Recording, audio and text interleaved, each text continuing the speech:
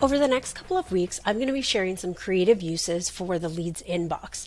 But in this video, I just want to cover the basics. So the leads inbox versus the deals pipeline and when you should be using the leads inbox or as a preview, if you should be using the leads inbox.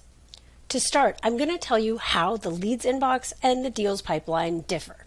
So the first is just the UI, how it looks.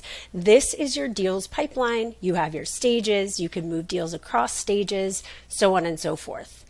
The leads inbox looks like this. It's just a list view. Now, I can make my deals pipeline look the same way. Um, if I look at a list view and I just look at my new deals, you'll see this looks very similar to this, but most people are not using the deals pipeline this way and shouldn't be using the deals pipeline this way. So the leads inbox just looks a lot different than the deals pipeline, which can be a point of confusion for users. Next, what can you do with a deal versus a lead? So in a deal, if I get this open here, in a deal, you see I can take a note, create activities, do a call, email, have files attached, documents, and invoices. I can also mark the deal as won or I can mark the deal as lost. On the contrary, with the leads inbox, if I open a lead here, I can take notes, I can create activities, and I can send emails. So I have more limited functions that I can do within a lead. And rather than marking a deal as won or a lead, excuse me, as won or lost, I have the options to either archive or convert to deal. So kind of again, something new to have to learn. I either have to convert this to a deal or I archive it. Archive is like lost, converting to deal is kind of like won. Now, somewhat related to that is insights. So, your reporting. In your reporting for leads versus deals, same thing, you're more limited. So for leads, you have these two types of reports versus for deals, you have many more types of reports available to you. And similar to insights, uh, you have workflow automations and third party automations. While in workflow automation, so Pipedrive's native automation tool, you can do most of the same things. Um, you are much more limited as things are today with the automations that are available with third party tools like Zapier and Make. All right, I've just gone over a ton of reasons why the leads inbox is different than deals in your deals pipeline and how you're more limited in what you can do with leads. So you may be asking, should I be using the leads inbox? Great question. The answer is probably not. Generally, I do not recommend to my clients that they are using the leads inbox unless there's a very specific use case that they can explain to me for why they need it. So I'm going to go over a few of those use cases that have come up. The first is that maybe when your lead comes in, you don't know which pipeline that lead should end up in. So let's say you're a home services company and you have a pipeline for new installations and you have a pipeline for service appointments.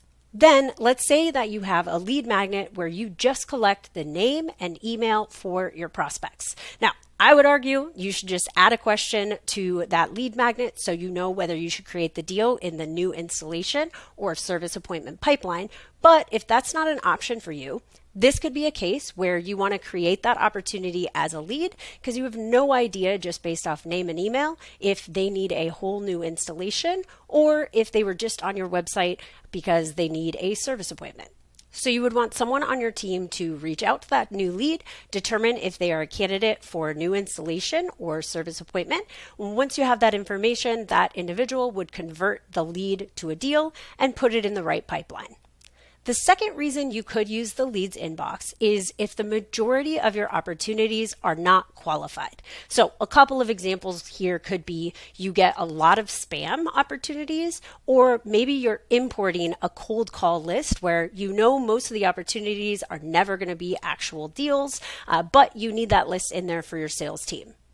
These are absolutely legitimate reasons to use the lead inbox. I would argue that you can use a deal stage for the exact same purposes and you can omit certain pieces of the information from your data set. So, for example, you can omit certain lost reasons from your deals count. You can also omit stages. So, for example, if you're doing a conversion report and you want to just omit the first stage entirely, you can do that. But if you want to use the leads inbox in that case, totally legitimate reason, uh, and I support you in that decision.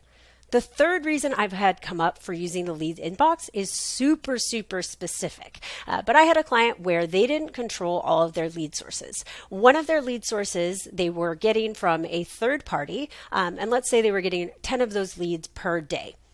In eight of the cases, they already had a deal representing that opportunity. So the person who had reached out through the third party found the exact company's website and completed their web form. So in eight of the cases, there was already a deal that had been created through automation that we had set up, uh, but they didn't want to miss those you know two leads that hadn't had a deal created. But we were limited in the information that we got from that third party source about the deal so we weren't able to through automation um, know if the deal existed or not. So in that case we created leads for all of the 10 opportunities and activity for their sales rep to check if the deal existed. If it did there were instructions for them to archive the lead um, and if it did not then there were instructions for them to convert that lead into a deal so that they weren't missing that subset of opportunities, but they also weren't getting loads of duplicates in their system. So, there are definitely reasons why you may want to use the leads inbox, but if you're not using it and we're just curious, wondering, like, is this something that I should be using? No. if you're not using it and your process is going great, Perfect. Don't change anything. If it's not broken, don't fix it. The leads inbox can be great for very specific use cases where the deals pipeline is not serving exactly what you need. Uh, but if you haven't run into any issues with the deals pipeline, there's no reason you need to use the leads inbox. It's just one more thing for your team to learn, one more place to have to set up metrics, and one more possible way for things to slip through the cracks. So, leads inbox, great if you need it but if you don't, if you can't make the case for why it is going to make your process better, don't use it.